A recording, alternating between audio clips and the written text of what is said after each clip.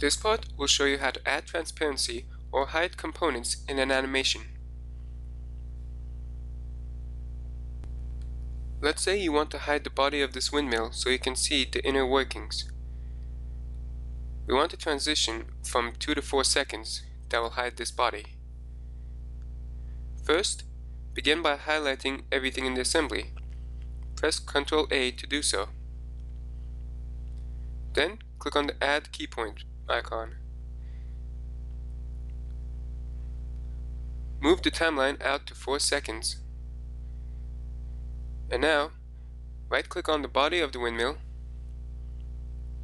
and choose Hide. You can now see this pink bar. This is the transition that will hide it.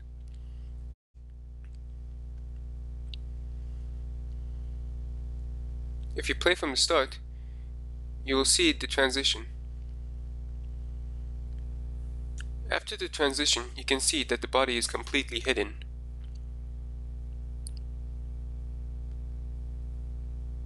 Now let's say that you want to change the transparency.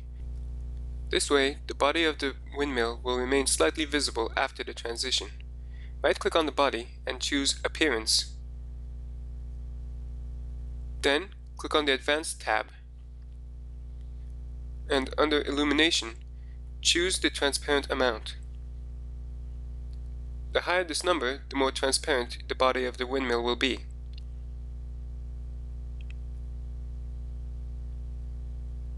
When you are satisfied with the results, click OK. Again, you will get a pink bar to indicate this transition. And if you play it, you can see this transition. Also note that after the transition, the body is not completely hidden. I hope you find this video helpful.